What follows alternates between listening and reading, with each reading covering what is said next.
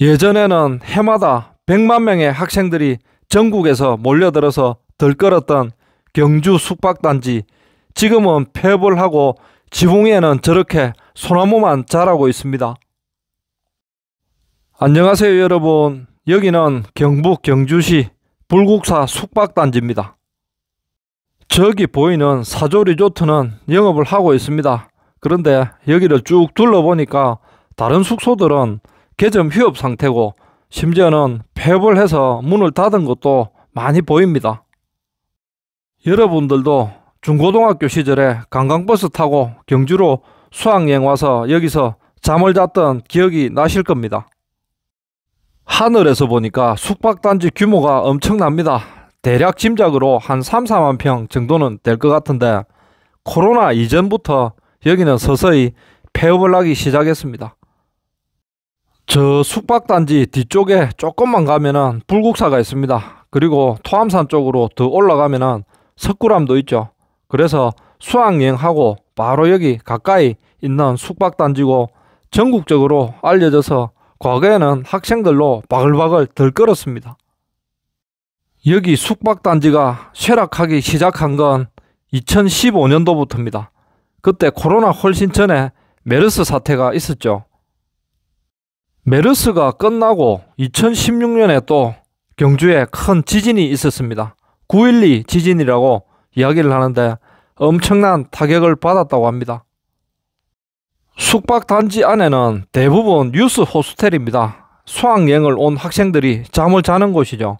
이게 무려 27개 업소가 있답니다. 지금 경주에 가보면은 그 많던 관광버스는 다 어디로 사라졌는지 관광버스 찾아보기가 하늘의 별따기입니다. 당시 학생 시절 때 경주로 수학여행 오면은 여기 숙소에서 잠을 잤는데 방 큰 거 하나에다가 학생 20명, 30명 막 집어넣었습니다.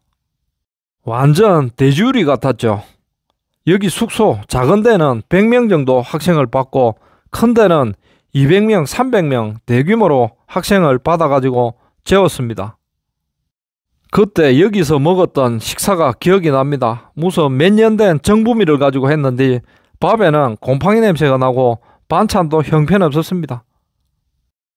여기 규모가 큰 또 숙소가 하나 있는데 불국사 관광호텔입니다.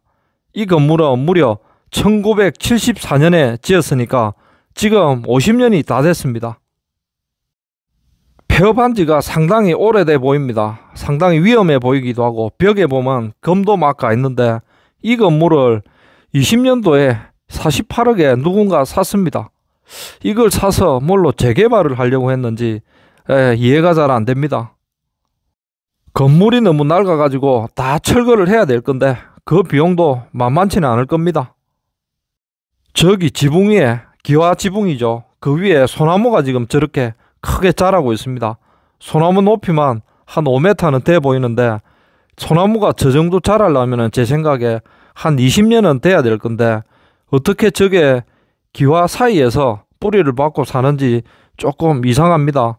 나무가 살 수 있게 아마 밑에 기와 밑에 흙이 조금 들어가 있는 모양입니다. 1974년도 그 당시에 제 나이가 4살이었네요. 그때 이런 최고급 호텔 네, 별 다섯 개 수준이었죠. 그래서 신혼여행도 많이 여기로 왔다고 합니다. 가슴 아픈 이야기지만은 2014년 세월호 참사 사건이 있기 전에는 전국에서 수학여행단들이 몰려서 여기가 사람들로 바글바글 했답니다.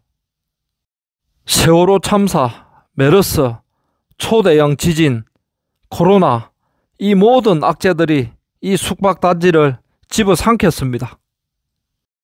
2016년에 역대급 지진이죠. 우리나라에서 가장 센 지진이 경주에서 발생을 했습니다. 그 이후로 예약을 했던 160개 학교 수학여행단이 모두 예약을 취소해버리고 여기는 학생들 수학여행단 그거 하나만 보고 장사를 해왔는데 취소가 돼버리니까 여기 있는 숙소들은 6개, 7군데가 폐업을 했습니다. 예전에는 학생들이 바글바글 했던 숙소지만은 지금은 수풀에 덮여가지고 완전히 귀신집으로 변해 있습니다.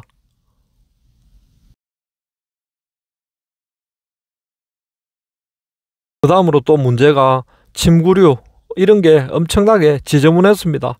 베개에는 얼룩이 져 있고 이불에는 냄새가 났죠.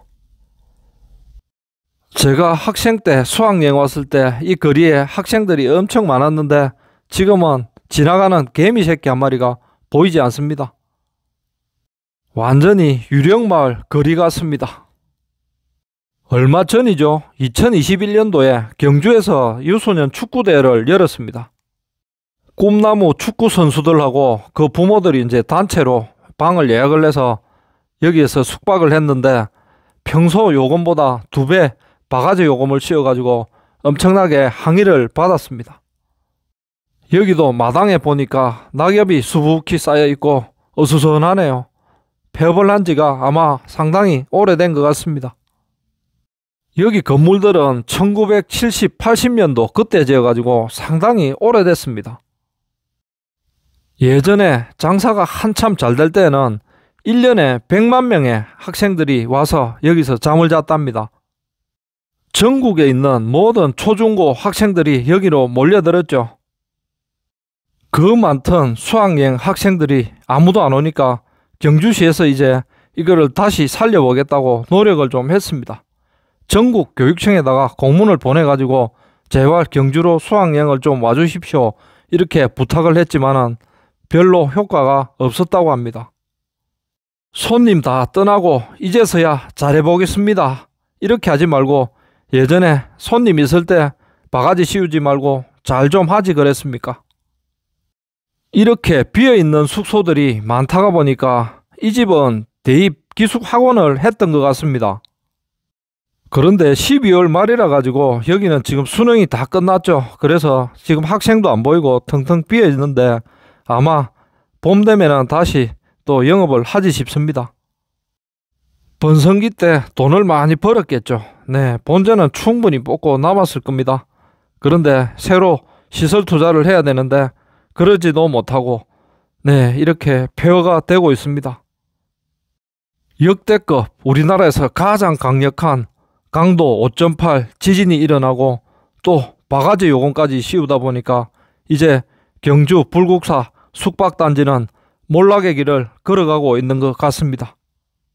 학생들한테 푸대접하고 바가지 씌운 경주 불국사 숙박단지 결국에는 이렇게 폭삭 망했습니다. 있을 때 잘하지 그랬습니까? 요즘은 중고등학교도 한 반에 30명 넘는 데가 없습니다. 학생 수도 많이 줄어버렸고 이제 이 숙박단지 살아날 가망이 없습니다. 오늘 영상은 여기까지 마무리하겠습니다. 다음에 뵙겠습니다.